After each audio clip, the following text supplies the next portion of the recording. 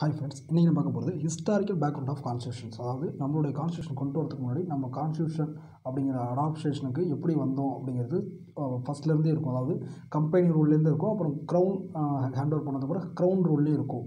இந்த கான்ஸ்டியூஷன்ஸ் எப்படி அடுத்தடுத்து எப்படி டெவலப் பண்ணியிருக்காங்க நம்ம வந்து நம்ம வச்சுருக்க கான்ஸ்டியூஷனுக்கும் எப்படி இது முன்னுதாரணம் அப்படிங்கிறத தான் பார்க்க போகிறோம் இந்த கான்ஸ்டியூஷனில் காலத்துக்கு தகுந்த மாதிரி மாற்றங்கள் இருக்கும் அப்படிங்கிறது எந்த மாற்றமும் இல்லை. ஃபஸ்ட்டு அந்த ஏரியா ஃபஸ்ட்டு பார்த்தீங்க அப்படின்னா நம்ம பிளாஸ்டிக் பக்ஷஸ் இந்த நமக்கு இந்த இந்த போர் தெரியும். இது மூலயமா தான் அவங்க நம்ம ரூல் பண்ண ஸ்டார்ட் பண்ணுறாங்க இதுக்கப்புறம் தான் கம்பெனி ட்ரேடில் அதிகமாக இது பண்ணுறதை பார்த்துட்டு பிரிட்டிஷ் பார்லிமெண்ட் என்ன பண்ணுறாங்கன்னா இவங்களை ரெகுலேட் பண்ணணும் அப்படின்னு சொல்லிட்டு அங்கே அதுக்குன்னு ஒரு ஒரு ஒரு பர்டிகுலர் ஒரு பார்த்தீங்க அப்படின்னா ஒரு சட்டம் இயற்றுவாங்க. அந்த சட்டத்தை வந்துட்டு இவங்க எந்த இடத்துல இருக்காங்களோ அவங்க ஃபாலோ பண்ணணும். அந்த கம்பெனி ஈஸ்ட் இந்தியன் கம்பெனி அந்த இடத்த அந்த நாட்டில் அதை ஃபாலோ பண்ணணும்னு சொல்லிட்டு பிரிட்டிஷ் பார்லிமெண்ட் முடிவு பண்ணும் அப்படிங்கிறது ரொம்ப முக்கியமான விஷயம். இப்போது ஃபஸ்ட் எப்போ கொடுக்குறாங்க பார்த்தீங்கன்னா த கம்பெனி ரூல் அதாவது ஃபஸ்ட்டு பார்த்தீங்க அப்படின்னா ஆயிரத்தி எட்நூற்றி ஐம்பத்தி ஏழுக்கு முன்னாடி வரையும் நம்ம கம்பெனி ரூல் பண்ணுச்சுங்கிறது நல்லா தெரியும். ஃபஸ்ட்டு கம்பெனி ரூல் ஆயிரத்தி எழுநூற்றி எழுபத்தி மூணுலேருந்து ஆயிரத்தி எட்நூற்றி ஐம்பத்தெட்டு அந்த இது வரையும் கம்பெனி ரூல் இந்த கம்பெனி ரூலில் ஃபஸ்ட்டு ஒரு அதாவது பார்த்தீங்க அப்படின்னா ஆயிரத்தி அறநூறில் இங்கிலாந்துக்கு அதாவது இங்கிலாந்து கிழக்கு இந்திய கம்பெனி அதாவது இந்த மாதிரி ட்ரேட் பண்ணுறதுக்கு ஒரு பட்டயம் கொடுத்துருப்பாங்க. அதாவது இருபது வருஷத்துக்கு ஃபஸ்ட்டு ஃபஸ்ட்டு ஃபஸ்ட்டு எலிசபெத் ராணி கொடுக்கும்போது டுவெண்ட்டி இயர்ஸ் கொடுப்பாங்க. அதுக்கப்புறம் தான் வந்து ஜேம்ஸ் என்ன பண்ணியிருப்பாருன்னா அது வந்து காலை வரையாற்றுன்னு கொடுத்துருப்பாரு. அதுக்கப்புறம் இந்த குறிப்பிட்ட காலத்தில் வரையும் அவங்க எந்த ரெஸ்ட்ரிக்ஷன் கொடுத்துருக்க மாட்டாங்க. பட் செவன்டீன் செவன்ட்டி த்ரீல ஃபஸ்ட் டைமாக ஒரு இது அதாவது ஒழுங்குமுறை சட்டம் அதாவது கம்பெனி ரூலை வந்து நாங்கள் வந்து ஸ்ட்ரிக் பண்ணுறோம் இது வந்து ரெஸ்ட்ரிக்ட் பண்ணுறோம் அப்படின்னு சொல்லிட்டு கொடுப்பாங்க. இந்த சட்டத்தில் என்ன சொல்லுவாங்கன்னா இருபது வருஷத்துக்கு தான் உங்களுக்கு இந்த ட்ரேட் பாலிசி அப்படின்னு சொல்லியிருப்பாங்க. ஒவ்வொரு இருபது வருஷத்துக்கும் நாங்கள் வந்து திரும்ப திரும்ப நீங்கள் வந்து இந்த பட்டயம் வாங்கிட்டு இருக்கணும் அப்படின்னு சொல்லியும் பிரிட்டிஷ் பார்லிமெண்ட் அவங்க போட்டிருப்பாங்க. அந்த இது படி ஃபஸ்ட்டு கொடுக்குற அந்த இதில் பார்த்தீங்கன்னா செவன்டீன் செவன்ட்டி த்ரீல ஒழுங்குமுறை சட்டம் அப்படின்னு ஒன்று வருது. இதில் கவர்னர் ஜெ இதுக்கு முன்னாடி கவர்னர் ஜெனரல் பார்த்தீங்கன்னா மூணு விதமாக இருக்கும். அதாவது பா அதாவது பம்பாய் பெங்கால் மெட்ராஸ். இந்த மூணுமே தனித்தனி கவர் கவர்னர் ஜெனரல் இருக்கிறது கவர்னர்ஸ் இந்த governor directly responsible to company இது அதாவது வந்து டேரெக்டாக ரெஸ்பான்சிபிள் ஒவ்வொருத்தவங்க இண்டிவிஜுவலாக ரெஸ்பான்சிபிளாக இருப்பாங்க. பட் இந்த இண்டிஜுவ இண்டிவிஜுவாலிட்டிக்கு பதில் இங்கேருந்து ஒரு தலைமை தான் வேணும் அப்படிங்கிறது முடிவு பண்ணி தான் ஃபஸ்ட்டு என்ன பண்ணுவாங்கன்னா பெங்காலை வந்துட்டு சென்டராக வச்சு மற்ற ரெண்டு பேரும் உங்களுக்கு கீழே அதாவது பாம்பே மெட்ராஸும் உங்களுக்கு கீழே இருக்கணும் அப்படின்னு சொல்லிட்டு கொண்டு வரதான் இந்த ஆக்ட் அதுக்குப்படி என்ன பண்ணுவோம்னா கவர்னர் ஜெனரல் ஆஃப் பெங்கால் அப்படிங்கிறது தான் இந்தியாவுக்கு இந்தியாவுக்கும் பார அதாவது பா பிரிட்டிஷில் இருக்க கம் இதுக்கும் ஒரு பாலமாக இருப்பாங்க. இதோட பதவி ஐந்து வருடங்கள் அப்படின்னு சொல்லி நியமிக்கப்படுது. அப்புறம் இதுக்கு இவங்களை இவர் அதாவது இவர் இந்த கவர்னர் ஆஃப் பெங்காலை வந்துட்டு கீழே இவங்க கீ அதாவது இவங்களை நிர்வகிக்கிறது ஒரு குழு அதாவது கவுன்சில் வைக்கிறாங்க. அந்த கவுன்சில் பேர் எக்ஸிக்யூட்டிவ் கவுன்சில் இந்த எக்ஸிக்யூட்டிவ் கவுன்சில் நாலு மெம்பர் கொண்ட ஒரு பாடி நல்லா பார்த்துங்க எக்ஸிக்யூட்டிவ் கவுன்சில் நாலு மெம்பர் கொண்ட ஒரு பாடி அப்புறம் இந்த சட்டத்தில் முக்கியமான இது வந்துட்டு கல்கத்தாவில் ஒரு உச்சநீதிமன்றம் தொடங்குறாங்க இதுக்கு ஃபஸ்ட்டு தான் வருது. எலிஜர் இம்போங்கிறது தான் உச்சநீதிமன்றத்தில் வருவார். அதுக்கப்புறம் கம்பெனியை தவிர கம்பெனி அதாவது கம்பெனி ட்ரேடை தவிர தனியாக ஒவ்வொருத்தவங்களும் ட்ரேட் பண்ணுறதுக்கு இவங்க தடை விதிக்கிறாங்க. இது வந்து ஒரு இந்த செவன்டீன் செவன்டி ஆக்டில் இதெல்லாம் முக்கியமான விஷயங்கள். அடுத்தது செவன்டீன் எயிட்டி ஃபோரில் அடுத்த ஆக்ட் உடனே கொண்டு வருவாங்க. பட் ஏன் இந்த உடனே வரும்னா இதில் நிறைய அதாவது செவன்டி செவன்ட்டித்தில் நிறைய குறைகள் இருக்குது அப்படிங்கிறதுக்கு இது பண்ணி தான் அப்போது இந்த செவன்டீன் எயிட்டி ஃபோர் வர்றதுக்கு மெயின் காரணம் அங்கே ஆட்சி மாற்றம் நடந்திருக்கும். அதுவும் ஒரு முக்கிய காரணமாக இருக்கும். பிட்ங்கிறவர் வந்திருப்பார். இதனால் இந்த சட்டத்துக்கு பேர் பிட் இந்திய சட்டம் அப்படின்னு வச்சுருப்பாங்க செவன்டீன் எயிட்டி ஃபோரில் இந்த சட்டத்தில் என்ன பண்ணுவோம்னா ஃபஸ்ட்டு கமர்ஷியலையும் பொலிட்டிக்கலையும் பிரிப்பாங்க. அதாவது வணிகத்தையும் அரசியலையும் தனித்தனியாக பிரிப்பாங்க. ரெண்டு நிர்வாகம். ரெண்டு பேரும் இதை தனியாக ஒருத்தவங்க பார்க்கணும் இதை தனியாக ஒருத்தவங்க பார்க்கணும் அப்படின்னு சொல்லிட்டு கோர்ட் ஆஃப் டைரக்டர்ஸ் அப்படின்னு ஒரு இது அதாவது கட்டுப்பாட்டு குழு அப்படின்னு ஒன்று கொண்டு வருவாங்க. அந்த கட்டுப்பாட்டு குழு தான் என்ன பண்ணணும்னா ட்ரேடை பார்ப்பாங்க. அதாவது கமர்ஷியலாக வந்துட்டு வணிகம் இந்த ஈடுபாட்டில் வந்துட்டு இந்த ட்ரேடர் டைரக்டர்ஸ் ஈடுபடுவாங்க. போர்ட் ஆஃப் கண்ட்ரோல் அப்படிங்கிறவங்க தான் பொலிட்டிக்கலாக சட்டம் ஏற்றுறது இந்த மாதிரி விஷயத்தை பார்க்குறதுக்கு போர்ட் ஆஃப் கண்ட்ரோல் அப்படின்னு சொல்லுவாங்க. இந்த ரெண்டும் தான் கோர்ட் ஆஃப் டைரக்டர்ஸ் இயக்குனர் குழு போர்ட் ஆஃப் கண்ட்ரோல் கட்டுப்பாட்டு குழு. ஆ, நல்லா பார்த்துங்க. இது ரெண்டு இந்த இந்த சிஸ்டத்தை என்ன சொல்லலாம்னா டபுள் கவர்மெண்ட் அப்படின்னு சொல்லுவாங்க. இந்த இந்த சிஸ்டத்துக்கு பேர் டபுள் கவர்மெண்ட் சொல்லுவாங்க. இந்த இந்த இந்த இந்த இதில் முக்கியமான விஷயம் பார்த்தீங்கன்னா கம்பெனியோட அதாவது இந்த இது இந்த முத முதல்ல இந்த ஆக்டில் என்ன சொல்லணும்னா கம்பெனியோட பிளேசஸை பிரிட்டிஷ் பொசிஷன் இன் இந்தியா அப்படிங்கிற வார்த்தையை யூஸ் பண்ணுவாங்க. இதுக்கு முன்னாடி வெறும் வெறும் வந்துட்டு அது ஒரு ஆக்குபை பண்ண பிளேஸ் அப்படின்னு சொல்லுவாங்க. இப்போ அதுக்கு வந்து பிரிட்டிஷோடது அப்படிங்கிறத கன்ஃபார்மாக சொல்லுவாங்க பிரிட்டிஷ் பொசிஷன்ஸ் இன் இந்தியா அப்படின்னு சொல்லிட்டு அது சொந்தம் கொண்டாடுவாங்க. அடுத்தது பிரிட்டிஷ் கவர்மெண்ட் வந்துட்டு சுப்ரீம் கண்ட்ரோல் எங்கே சுப்ரீம் கண்ட்ரோல் வரும்னு பார்த்தா கம்பெனி அஃபேர்ஸில் அண்ட் அட்மினிஸ்ட்ரேஷனில் அதாவது பிரிட்டிஷ் பார்லிமெண்ட்டு அந்த ஈஸ்ட் இந்தியன் கம்பெனியில் பொலிட்டிக்கலாக கம்ப் அதை அதை அதோட அதை அட்மினிஸ்ட்ரேட் பண்ணுறதுக்கு இது கொஞ்சம் கொஞ்சமாக பவர் எடுக்க ஆரம்பிப்பாங்க. இவங்க சொல்கிறதா அவங்க செய்யணும் கம்பெனி அப்படிங்கிற மாதிரி அந்த அந்த இது அந்த இதுக்குள்ளே போயிடுவாங்க அதுதான் வந்துட்டு இந்த ப இது வந்து சுப்ரீம் பவர் அப்படிங்கிறது சொல்லியிருப்பாங்க. அடுத்தது எயிட் எயிட் ஒன் த்ரீ அதாவது பதினெட்டு பதிமூணு பட்டய சட்டம் பார்த்தீங்கன்னா இதில் பெருசாக எதுவும் சொல்லப்பட்டிருக்காது. அடுத்த இருபது வருஷம் நீங்கள் ட்ரேட் பண்ணலாம் அப்படிங்கிறத மட்டும் சொல்லியிருப்பாங்க. இதில் இன்னொரு விஷயமா அடிஷ்னலாக ஒரு லட்ச ரூபாய் நீங்கள் வந்து செலவு பண்ணணும் அப்படின்னு சொல்லியிருப்பாங்க எஜுகேஷனுக்கு பட் இந்த பணம் செலவு பண்ணப்பட்டிருக்காது அப்படிங்கிறது முக்கியம். அடுத்தது இருபது வருஷத்துக்கு அப்புறம் எயிட்டீன் த்ரீ த்ரீல வர அதாவது ஆயிரத்தி எட்நூற்றி முப்பத்தி மூணு வர பட்டச்சட்டத்துப்படி என்ன பண்ணியிருப்பான்னா இந்த ஆங்கில கேட்கறது இருக்குல்ல இதை வந்து இன்னும் என்ன சொல்லுவாங்கன்னா பிரிட்டிஷ் அரசின் அரசியல் முகவராக மட்டும்தான் இருக்கணும். அதாவது நீங்கள் வந்துட்டு அங்கே வந்துட்டு நான் எங்களுடைய எங்களோட பார்வைக்கு கீழே மட்டும்தான் நீங்கள் இருக்கணும். எந்த எந்த வித ஆக்டிவிட்டீஸும் இருக்கக்கூடாது. எங்கள் கேட்காம எதுவும் நீங்கள் பண்ணவே கூடாதுன்னு சொல்லிட்டு பாதி கேப்சர் பண்ணிடுவாங்க. எயிட்டீன் ஃபிஃப்டி எயிட்டுக்கு முன்னாடியே கொஞ்சம் கொஞ்சமாக உள்ளே வராங்கங்கிறதுக்கு இதெல்லாம் ஒரு அடுத்தடுத்த இது. பாதிக்கு மேலே கேப்சர் பண்ணி அதாவது இப்போ நான் எங்களோட முகவர் அதாவது என்னோட ஏஜென்ட் நீ எனக்கு கீழே வேலை செய்கிற ஒரு ஏஜென்ட் அப்படிங்கிற மாதிரி பண்ணியிருப்பாங்க. அடுத்தது இந்த இது இதில் வந்து அவங்களோட முக்கியமாக பார்த்தீங்கன்னா கம்பெனியோட கமர்ஷியல் எண்டிங் அதாவது கமர்ஷியல் ஆக்டிவிட்டீஸை வந்து சுத்தமாக எண்ட் பண்ணியிருப்பாங்க எப்படி சொல்கிறது அவங்க மெ மெயினாக வந்த வணிகத்தையே வந்துட்டு கவர்மெண்ட் டேக் ஓவர் பண்ணிடும் அப்படிங்கிறது தான் முக்கியமான விஷயம். அடுத்தது கவர்னர் ஜெனரல் ஆஃப் இந்தியா அப்படிங்கிறது இதுக்கு முன்னாடி கவர்னர் ஜெனரல் ஆஃப் பெங்கால்னு இருக்கும். இப்போ கவர்னர் ஜெனரல் ஆஃப் இந்தியா அப்படின்னு டேர்ம் சேஞ்ச் பண்ணுவாங்க. First governor general of India யாருன்னு பார்த்தீங்கன்னா வில்லியம் பென்டிங் அப்படிங்கிறது முக்கியம். இந்த இப்போ இதுக்கு பார்த்தீங்க அப்படின்னா ஒரு ஒரு ஆலோசனை குழு இருக்கும். சட்ட ஆலோசனை குழு இந்த ஆலோசனை குழுவோட முதல் சட்ட ஆலோசகர் யாருன்னு பார்த்தீங்கன்னா டிபி வெக்கல்லே அப்படின்னு ஒரு குழு கொண்டு இருப்பார். அவர் தான் முக்கியமான ஆள். அடுத்தது governor general of India was given executive and exclusive legislative power அப்படின்னு பார்த்தீங்கன்னா சட்டம் இயற்றும் அதிகாரம் இவருக்கு தனிமையாக இருக்கும். அதாவது பார்த்தீங்க அப்படின்னா ஒரு சட்டம் இயற்றத்துக்கு இவர்கிட்ட முழு அதிகாரம் இருக்கும். இதுக்கு முன்னாடி வந்து இந்த போர்டு சொல்கிறது கண்ட்ரோல் சொல்கிறத கேட்டு பண்ணணும். பட் இப்போ வந்து கவர்னர் ஜெனரலுக்கே அந்த பவர் இருக்கும். தனிமையாக வந்து ஒரு ஒரு சட்டம் இயற்ற முடியும் அப்படின்னு கொண்டு வந்திருப்பாங்க. அடுத்தது ஓப்பன் இந்த ஓப்பன் காம்படிட்டிவ் எக்ஸாம்ஸ் சொல்கிறோம்ல இங்கிலாந்தில் பண்ணுறது எல்லா தரப்பு மக்களும் எழுதலாம் சொல்லியிருப்பாங்க. அதாவது இங்கிலாந்தில் இருக்க அனைத்து தரப்பு தான் இந்தியன்ஸ் எழுத முடியாது. இங்கிலாந்தில் முன்ன அரச குடும்பத்தில் மட்டும் எழுத முடியல ஒரு ஒரு குறிப்பிட்ட எழுத முடியும் தான் எழுத முடியும்னு சொல்லியிருப்பாங்க. அதை இது பண்ணிவிட்டு யார் வேணாலும் அந்த எக்ஸாம் எழுதலாம் அப்படின்னு சொல்லிட்டு அங்கே சொல்லியிருப்பாங்க இந்தியன்ஸ் அலௌடு இல்லை அப்படின்னு நல்லா தெரிஞ்சுங்க அடுத்தது எயிட்டீன் ஃபிஃப்டி த்ரீ இந்த எயிட்டீன் ஃபிஃப்டி த்ரீல என்ன பண்ணுவாங்க பார்த்தீங்கன்னா இதில் ஃபஸ்ட்டு ஃபஸ்ட்டு தான் என்ன பண்ணுவாங்கன்னா லெஜிஸ்லேச்சர் அப்படிங்கிற வார்த்தையை ஃபஸ்ட்டு சேர்ப்பாங்க. அதாவது ஒரு பார்லிமெண்ட் சிஸ்டம் சின்னதாக கொண்டு வருவாங்க. மினி பார்லிமெண்ட் அப்படின்னு சொல்லுவாங்க. அதாவது ஃபஸ்ட்டு பார்லிமெண்ட் தான் ஸோ மினி பார்லிமெண்ட் அப்படின்னு சொல்லியிருப்பாங்க. லெஜிஸ்லேஷன் கவுன்சிலில் எக்ஸிக்யூட்டிவ்லேருந்து பிரிச்சிருப்பாங்க. எக்ஸிக்யூட்டிவோட ஃபங்க்ஷன்லேருந்து லெஜிஸ்ட்ரேட்டிவ் கொண்டு வந்திருப்பாங்க சட்டம் ஏற்றத்துக்கு இதில் ஓப்பன் காம்படிஷன் சிஸ்டம் கொண்டு வந்திருப்பாங்க. இந்தியன்ஸ் ஆர் அலவுட் அப்படின்னு சொல்லியிருப்பாங்க. இந்தியன்ஸும் எக்ஸாம்ஸ் எழுதலாம் அப்படின்னு சொல்லியிருப்பாங்க. அதுக்கப்புறம் இது இது இதில் பார்த்தீங்க அப்படின்னா கம்பெனியை வந்துட்டு சுத் அதாவது கம்பெனியோட ரூலை அதாவது எப்படி சொல்கிறது கம்பெனியை சுத்தமாக டேக் ஓவர் பண்ணி அதாவது சுத்தமாக வந்துட்டு அழிச்சிருக்குவாங்க கம்பெனியோட இதை. இந்த டெர்மினேட்டர் வார்த்தை பார்த்துங்க. என்ன பண்ணியிருப்பாங்க சொல்லியிருப்பாங்க அப்படின்னா எப்போ வேணாலும் கம்பெனியோட ரூ கம்பெனியை நாங்கள் வந்துட்டு இது பண்ணிவிட்டு கிரவுண்ட் வந்து டேக் ஓவர் பண்ணிப்போம் அப்படின்னு சொல்லிட்டு இங்கே சொல்லியிருப்பாங்க. இப்போ அப்படின்னு சொல்லாமல் எப்போ வேணாலும் அப்படின்னு சொல்லியிருப்பாங்க. இதுக்கு இதுக்கு தகுந்த மாதிரி தான் அடுத்த ஒரு வாரம் நடக்கும். உடனே டேக் ஓவர் பண்ணுவாங்க.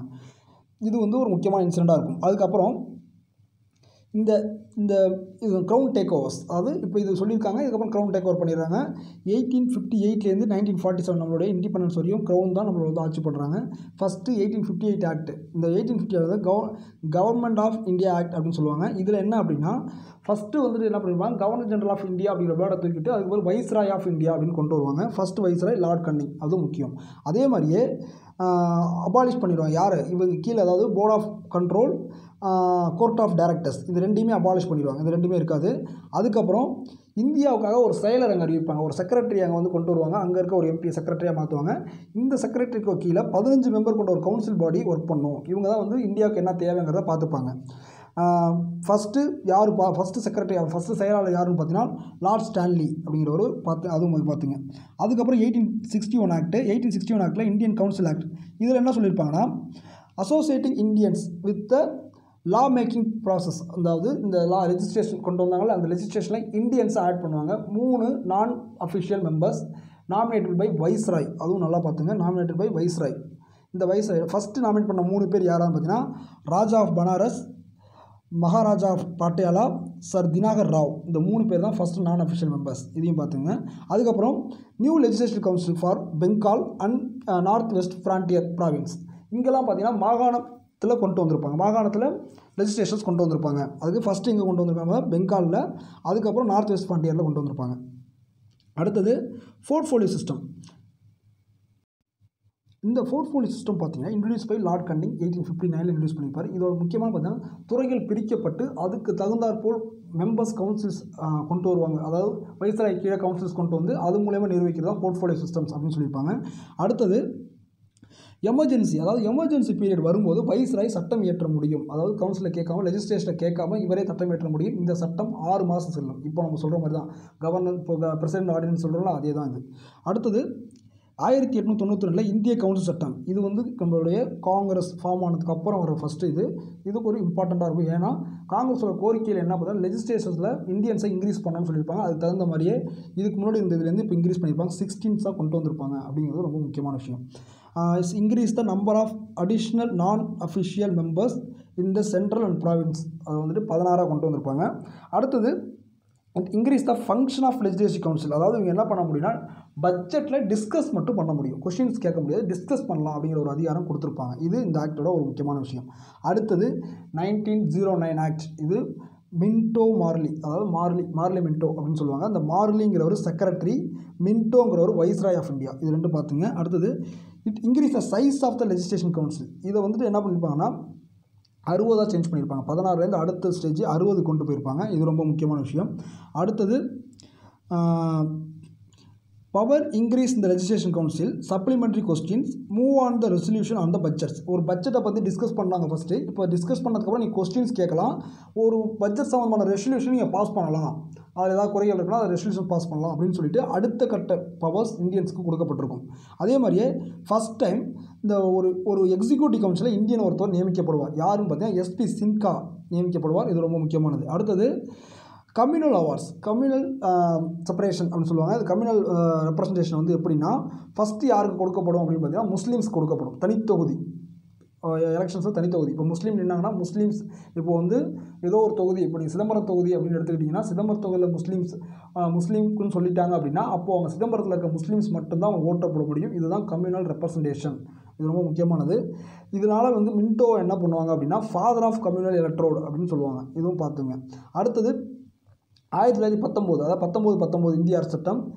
இது இது வந்து பார்த்தீங்க அப்படின்னா இதுக்கு இன்னொரு பேர் மாண்டேகு செம்ஸ்போர்ட் அப்படின்னு சொல்லுவாங்க. மாண்டேகு செக்ரட்டரி செம்ஸ்போர்டு வந்து வைஸ்ராய். இது ரொம்ப முக்கியமானது. இதில் வந்துட்டு பார்த்தீங்க அப்படின்னா அடுத்த கட்டமாக அதாவது என்ன பண்ணுவாங்கன்னா லிஸ்ட் அதாவது இப்போ நம்ம இப்போ யூஸ் பண்ணுறோம்ல அட்டவணை செவனில் இருக்குல்ல central list state list concurrent list இந்த லிஸ்ட்டை ஃபஸ்ட்டு ஃபஸ்ட்டு எப்போ இன்ட்ரடியூஸ் பண்ணுறாங்கன்னா இங்கே இப்போ தான் கொண்டு வரும் இந்த இந்த ஆக்ட் மூலயமா கொண்டு வருவாங்க. இதில் ரெண்டு இது ரெண்டு விஷயமாக கொண்டு வருவாங்க. சென்ட்ரல் சப்ஜெக்ட் ப்ராவின்ஷியல் சப்ஜெக்ட்ஸ் அப்படின்னு ரெண்டு விஷயமா கொண்டு வருவாங்க. இதில் ப்ராவின்ஷியல் சப்ஜெக்ட்டை பார்த்தீங்க அப்படின்னா ரெண்டாக பிரிப்பாங்க. ஏன் அப்படின்னு பார்த்தீங்கன்னா டையார்கி சிஸ்டத்தை ப்ராவின்ஸில் இன்ட்ரடியூஸ் பண்ணுவாங்க. அதாவது ப்ராவின்ஸில் ஈரவை மன்றம் அப்படிங்கிறத கொண்டு வருவாங்க.